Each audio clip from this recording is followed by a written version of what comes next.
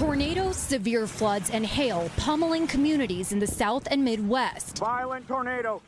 The twisters ripping trees from the ground and reducing homes to rubble in Tennessee. Here, one hour south of Nashville, six buildings on this one property completely destroyed. One of those buildings thrown 30 yards from its foundation before the tornado ripped through this house. Now, power crews are working round the clock to restore power to the tens of thousands of people here who lost it.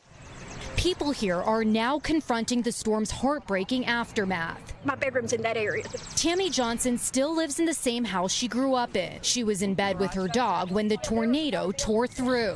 What was going through your head when all of this was happening? That I was going to die. To be honest, that's the only thing I could think of. I was going to die. Nearby, 10 year old Asher is fighting for his life after getting swept into a storm drain. Tonight, the community is praying. We pray and lift up Asher. There it is.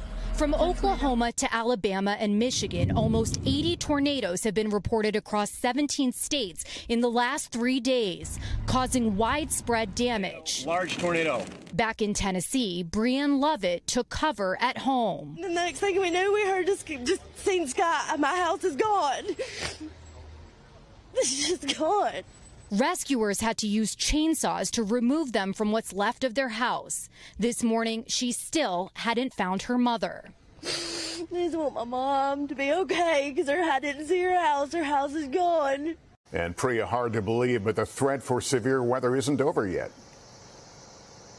That's right. As many communities are grappling with destruction like what you see behind me here, more than 30 million people here in the South are bracing for yet another night of potential severe weather. Lester? Thanks for watching. Stay updated about breaking news and top stories on the NBC News app or follow us on social media.